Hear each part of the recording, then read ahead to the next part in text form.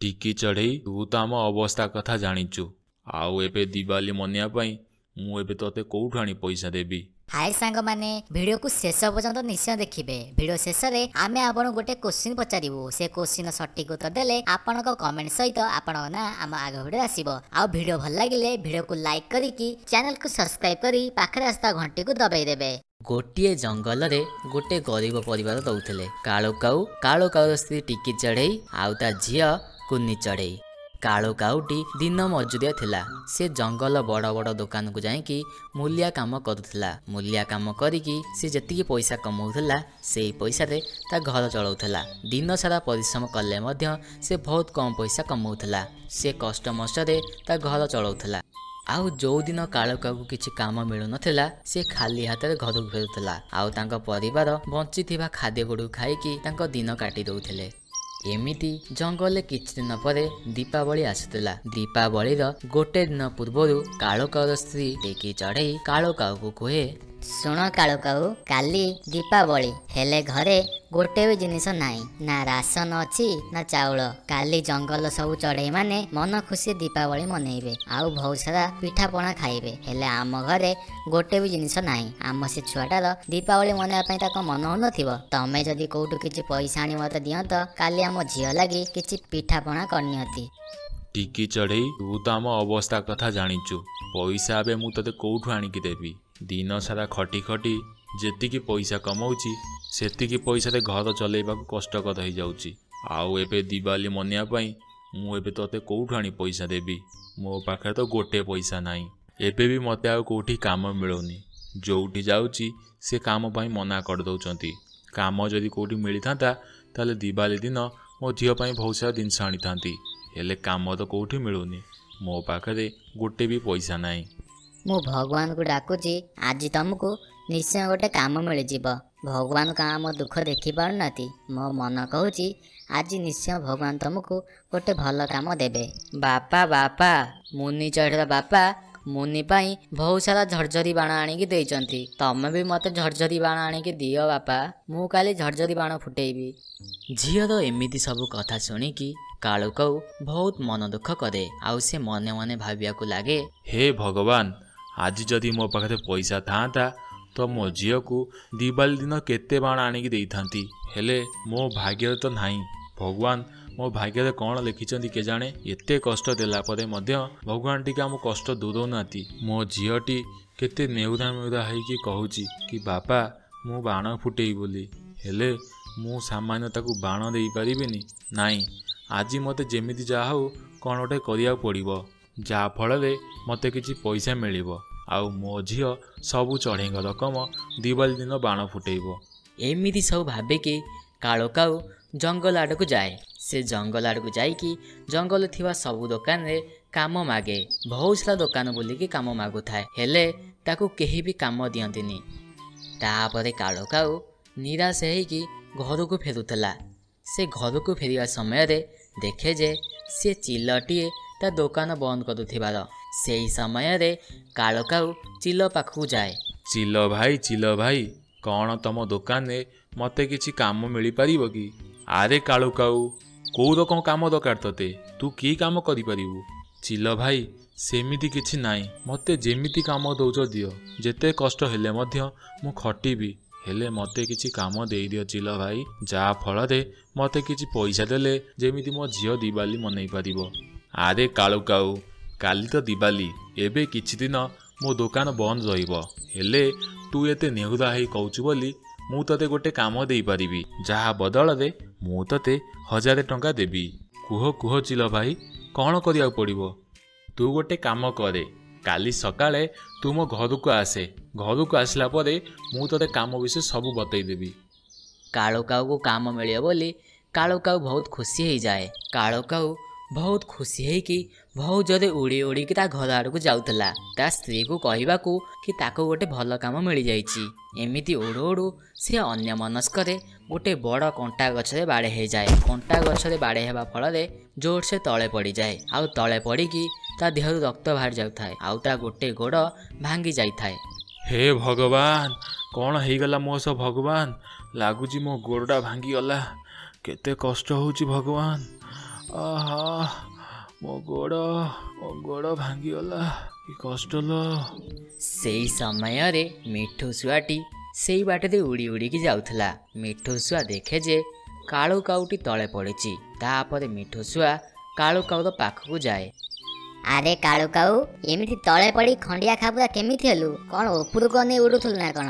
ଦେଖିନି କେତେ ରକ୍ତ ବାହାରି ଗଲାଣି ଆରେ ମିଠୁ ଶୁଆ ତତେ କ'ଣ କହିବି ମୁଁ? ମୁଁ ଜଙ୍ଗଲକୁ ସେ ଚିଲ ଭାଇ ପାଖକୁ ଯାଇଥିଲି କିଛି କାମ ଖୋଜିବାକୁ। ଚିଲ ଭାଇ ମୋତେ ଗୋଟେ ଭଲ କାମ ଦେଲେ। ସେଇ ଖୁସିରେ ମୁଁ ଜୋରସେ ଉଡ଼ି ଉଡ଼ିକି ମୋ ଘରକୁ ଯାଉଥିଲି ମୋ ସ୍ତ୍ରୀକୁ କହିବାକୁ। ହେଲେ ଅନ୍ୟ ମନସ୍କରେ ଏ ଗଛରେ ବାଡ଼େଇ ହେଇକି ମୁଁ ତଳେ ପଡ଼ିଗଲି ଆଉ ଏ ଗୋଡ଼ଟା ଭାଙ୍ଗିଗଲା। ଆରେ ଆରେ କାଳୁ କାଉ ଏମିତି ଅନ୍ୟମନସ୍କ ହେଇକି କାହିଁକି ଉଡୁଥିଲୁ ଦେଖିଲୁ ନା ଏବେ ଗୋଡ଼ଟା ଭାଙ୍ଗିଗଲା ଯଦି ତୁ ଭଲସେ ଘରକୁ ଯାଇଥାନ୍ତୁ ତାହେଲେ ତୋ ଗୋଡ଼ଟା ଭାଙ୍ଗି ନଥାନ୍ତା କାଲି ତୁ ଆରାମସେ କାମ କରିବାକୁ ଯାଇପାରିଥାନ୍ତୁ ହେଲେ ଏବେ କ'ଣ ହେଲା? ଗୋଡ଼ ତ ଭାଙ୍ଗିଗଲା। ଏବେ କାମ କରିବାକୁ କେମିତି ଯିବୁ? ହଉ ହଉ ତୋ ଗୋଡ଼ରୁ ବହୁତ ରକ୍ତ ବାହାରିଲାଣି। ଚାଲେ ମୁଁ ତ ତମ ଘରକୁ ନେଇଯିବି। ହଁ ହଁ ମିଠୁ ଶୁଆ ଜଲ୍ଦି ନେଇ ଚାଲେ। ମୋତେ ବହୁତ ଜୋର କଷ୍ଟ ହେଉଛି ମିଠୁ ଶୁଆ ତାପରେ ମିଠୁ ଶୁଆ କାଳୁ କାଉକୁ ତା ଗୋଡ଼ରେ ଧରିକି ଉଡ଼ି ଉଡ଼ିକି ତାଙ୍କ ଘରକୁ ନେଇକି ଯାଏ। କିଛି ସମୟ ପରେ ମିଠୁ ଶୁଆ କାଳୁ କାଉକୁ ତାଙ୍କ ଘରେ ପହଞ୍ଚେଇ ଦିଏ। ଆରେ ଟିକି ଚଢ଼େଇ ତୋ ସ୍ୱାମୀ ସେ ଜଙ୍ଗଲରେ ଖଣ୍ଡିଆ ଖାବରା ହେଇ ପଡ଼ିଥିଲା। ଯଦି ମୁଁ ନଥାନ୍ତି ତୋର ଆଜି କ'ଣ ହେଇଥାନ୍ତା କେଜାଣି? ଭଗବାନ ଜାଣିଥାନ୍ତେ। ସବୁବେଳେ କାଳୁ କାଉ ଅନ୍ୟ ମନସ୍କ ହେଇ ଉଡୁଛି ଦେଖିଲୁ ଆଜି ପଡ଼ିକି ତା ଗୋଡ଼ ଭାଙ୍ଗିଗଲା। ହେ ଭଗବାନ କ'ଣ କଲ ମୋ ସ୍ୱାମୀ ସହ? କାହିଁକି ଏତେ କଷ୍ଟ ଦଉଛ ଭଗବାନ? ଏମିତି ତ କଷ୍ଟ କଷ୍ଟରେ ଆମ ଦିନ ବିତୁଛି ଘରେ ଯିଏ ଗୋଟେ ରୋଜଗାର କରୁଥିଲା ତା ଅବସ୍ଥା ବି ଖରାପ କରିଦେଲ ଭଗବାନ। କାହିଁକି ଏତେ ଅନ୍ୟାୟ କରୁଛ ଆମ ଉପରେ? କ'ଣ ହେଇଗଲା ଆଙ୍କର? କେତେ ରକ୍ତ ବାହାରୁଛି କାହିଁ ଏମିତି ଭଗବାନ କରୁଛ ଆମ ସହ? ଆରେ ଟିକି ଚଢ଼େଇ ତୁ କାନ୍ଦିବୁ ପଛେ। ଜଲ୍ଦି ଜଲ୍ଦି ତା ଗୋଡ଼ରେ ଗୋଟେ କପଡ଼ା ବାନ୍ଧିଦେ। ବହୁତ ସାରା ରକ୍ତ ବାହାରିଲାଣି। ବାପା ବାପା ତମର କ'ଣ ହେଲା? ତମ ଗୋଡ଼ ଭାଙ୍ଗିଲା କେମିତି ବାପା? ତମ ଗୋଡ଼ରୁ କେତେ ରକ୍ତ ବାହାରି ଯାଉଛି ବାପା? ରୁହ ରୁହ ମୁଁ ତମ ପାଇଁ ଔଷଧ ଆଣୁଛି ତମ ଗୋଡ଼ରେ ଔଷଧ ଲଗାଇଦେଲେ ତମ ଗୋଡ଼ ଭଲ ହେଇଯିବ ବାପା କ'ଣ କହିବି ରେ ଝିଅ? ଆମ ତ ଭାଗ୍ୟ ଖରାପ। ଭଗବାନ ଚାହୁଁଛନ୍ତି ଆମେ ଏଇ ରକମ କଷ୍ଟରେ ରହୁ ବୋଲି। ପୂର୍ବ ଜନ୍ମରେ କି ପାପ କରିଥିଲି କେଜାଣେ? ମୋ ଲାଗି ତମ ଦି ଜଣ କଷ୍ଟ ପାଉଛ ଭଗବାନ ଚାହୁଁନାହାନ୍ତି ଆମକୁ ଟିକେ ଖୁସି ଦେବା ପାଇଁ। ତାପରେ କାଳୁ କାଉ ତା ସ୍ତ୍ରୀକୁ ସେ ଚିଲର କଥା କୁହେ। ଟିକି ଚଢ଼େଇ ସେ ଚିଲ ଭାଇ ମୋତେ ଗୋଟେ ଭଲ କାମ ଦେଇଥିଲେ। କହୁଥିଲେ ଦିନକୁ ହଜାର ଟଙ୍କା ମିଳିବ। ମୁଁ ସେଇ ଲାଗି ବହୁତ ଖୁସି ହେଇଥିଲି। ହେଲେ ମୋ ଗୋଡ଼ ତ ଭାଙ୍ଗିଗଲାଣି। ମୁଁ ତ ଆଉ ଯାଇପାରିବିନି। ତୁ ଗୋଟେ କାମ କରେ। ତୁ କାଲିଠୁ ଯା। ଚିଲ ଭାଇଙ୍କ ପାଖକୁ। ସେଠି ଯାଇକି କାମ କରିଦେ। ଆଉ ଯେଉଁ ପଇସା ମିଳିବ ସେଇ ପଇସାରେ ଆମ ଝିଅର ଦିବାଲି ପାଇଁ ଖର୍ଚ୍ଚ ହେଇଯିବ। ହଉ ହଉ କାଳୁ କାଉ ତମେ ବ୍ୟସ୍ତ ହୁଅନି। ମୁଁ କାଲି ସେ ଚିଲ ଭାଇଙ୍କ ଘରକୁ ଯିବି। ତା ପରଦିନ ଦୀପାବଳି ଥିଲା। ସକାଳ ହେଲା ପରେ ଟିକି ଚଢ଼େଇ ସେ ଚିଲ ଘର ଆଡ଼କୁ ଉଡ଼ିଯାଏ। ଆରେ ଟିକି ଚଢ଼େଇ ତୁ କ'ଣ ମୋ ଘରକୁ ଆସିଲୁଣୁ? କ'ଣ ହେଇଛି କି? ତୋ ସ୍ୱାମୀ ବା କାଲି ଆସିଥିଲା କାମ ଖୋଜିବା ପାଇଁ। କ'ଣ ସେ ଆସିଲାଣି? ତତେ ପଠେଇ ଦେଇଛି ନା କ'ଣ? ନାଇଁ ଚିଲ ଭାଇ ମୋ ସ୍ୱାମୀ ତ ଆସିଥାନ୍ତେ। ହେଲେ କ'ଣ କହିବି ତମକୁ? କାଲି ସେ ଖୁସି ହେଇକି ଘରକୁ ଫେରୁଥିବା ସମୟରେ ଅନ୍ୟ ମନସ୍କରେ ଗୋଟେ ଗଛରେ ବାଡ଼େଇ ହେଇକି ତଳେ ପଡ଼ି ତାଙ୍କ ଗୋଡ଼ ଭାଙ୍ଗି ଯାଇଛି। ସେଇ ଲାଗି ସେ କାମକୁ ଆସିପାରିବେନି ବୋଲି ମୋତେ କହିଲେ। ମୁଁ ପଳେଇ ଆଇଛି କାମ କରିବାକୁ। ହଉ ହଉ ଟିକି ଚଢ଼େଇ କିଛି କଥା ନାହିଁ। ଯିଏ ବି କାମ କଲେ ଚଳିବ। ମୋତେ ତ କାମରେ ମତଲବ। ହଁ ଚିଲ ଭାଇ କୁହ ମୋତେ କି କାମ କରିବାର ଅଛି? ଆରେ ଆଜି ଦିବାଲି ମନେଇବା ପାଇଁ ମୋ ସାଙ୍ଗମାନେ ସବୁ ମୋ ଘରକୁ ଆସିବେ। ତୁ ଗୋଟେ କାମ କରେ। ସେ ମୋ ବାରି ପଛ ବଗିଚାଟାକୁ ଟିକେ ସଫା କରିଦେ। ଆମେ ସେଇଠି ଦିବାଲି ମନେଇବୁ। ହଉ ହଉ ଚିଲ ଭାଇ ମୁଁ ଏବେ ଯାଉଛି। ତମ ବଗିଚାଟାକୁ ସୁନ୍ଦର ଭାବରେ ସଫା କରିଦେବି। ଟିକି ଚଢ଼େଇ ଯାଇକି ଚିଲର ସେ ବଗିଚାଟାକୁ ଭଲ ଭାବରେ ସଫା କରୁଥାଏ। ସେଇ ସମୟରେ ଚିଲର ସ୍ତ୍ରୀ ନୀଳ ଚଢ଼େଇ ତା ଝିଅ ସହିତ ଟିକି ଚଢ଼େଇ ପାଖରେ ଆସି ପହଞ୍ଚେ। ଏ ଟିକି ଚଢ଼େଇ ଜଲ୍ଦି ଜଲ୍ଦି ବଗିଚା ସଫା କରେ। ସଫା କରିସାରିଲା ପରେ ବହୁତ ସାରା ବାସନ ଅଛି ସେ ବାସନକୁ ମାଜିବୁ। ଆଉ ପିଠାପଣା ବି କରିବାର ଅଛି। ହଁ ନୀଳ ଚଢ଼େଇ ମୁଁ ଶୀଘ୍ର ଶୀଘ୍ର ସଫା କରିଦେଉଛି ତାପରେ ବାସନ ଫାସନ ମାଜିବି। ମା ମା ଆସ ଆମେ ବଗିଚାରେ ଖେଳିବା ମୋତେ ଖେଳିବାକୁ ବହୁତ ମନ ହେଉଛି ମା। ଏକଲା ଖେଳିଦେ ମୋ ପାଖରେ ଜମାରୁ ଟାଇମ୍ ନାହିଁ ମୋର ଟିକେ କାମ ଅଛି ମୁଁ ସେପଟକୁ ଯାଉଛି ତୁ ଏଇଠି ଏକଲା ଏକଲା ଖେଳେ। ତାପରେ ନୀଳ ଚଢ଼େଇର ଝିଅ ସେଇ ବଗିଚାରେ ଖେଳିବାକୁ ଲାଗେ। ଆଉ ନୀଳ ଚଢ଼େଇ ତା କାମରେ ବାହାରିକି ଯାଉଥିଲା। ହଠାତ୍ ସେଇ ସମୟରେ ନୀଳ ଚଢ଼େଇ ଝିଅ ପଛରୁ ଗୋଟେ ବିଷାକ୍ତ ସାପ ଆସେ। ଆଉ ସେ ସାପଟି ଆସିକି ନୀଳ ଚଢ଼େଇ ଝିଅକୁ କାମୁଡ଼ି ଦିଏ। ସାପଟି ନୀଳ ଚଢ଼େଇ ଝିଅକୁ କାମୁଡ଼ି ଦେବାରୁ ନୀଳ ଚଢ଼େଇ ଝିଅ ଜୋର ପାଟିରେ ବୋବାଏ। ମା ମା ମୋତେ ସାପ କାମୁଡ଼ି ଦେଲା ମା ମା ମୋତେ ସାପ କାମୁଡ଼ି ଦେଲା। ହେ ଭଗବାନ ମୋ ଝିଅକୁ ସାପ କାମୁଡ଼ି ଦେଲା। କିଏ କୋଉଠି ଅଛ? ଜଲ୍ଦି ଆସ ମୋ ଝିଅକୁ ବଞ୍ଚାଅ। ଏ ଟିକି ଚଢ଼େଇ ତୁ ଅନେଇଛୁ କ'ଣ ଜଲ୍ଦି ଯା ତାଙ୍କୁ ଡାକିକି ଆଣେ କହ ତାଙ୍କ ଝିଅକୁ ସାପ କାମୁଡ଼ି ଦେଇଛି ଚିଲ ଆସିଲେ ମୋ ଝିଅକୁ ମୁଁ ଡାକ୍ତରଖାନା ନେଇଯିବି ନୀଳ ଚଢ଼େଇ ମୁଁ ଦେଖିଛି ତମ ଝିଅକୁ ଗୋଟେ ବିଷାକ୍ତ ସାପ କାମୁଡ଼ି ଦେଇଛି ଏବେ ଯଦି ତମେ ଡାକ୍ତରଖାନା ନେଇଯିବ ତ ବହୁତ ଡେରି ହେଇଯିବ ମୁଁ କହୁଛି ତମେ ଡାକ୍ତରଖାନା ନିଅନି। ମୋତେ ବିଷ କାଢ଼ିବା ଜଣା ଅଛି। ତମେ ଯଦି କହିବ ତମ ଝିଅ ଦେହରୁ ମୁଁ ବିଷ କାଢ଼ିଦେବି। ହଁ ଟିକେ ଚଢ଼େଇ। ଆଉ କହୁଛୁ କ'ଣ?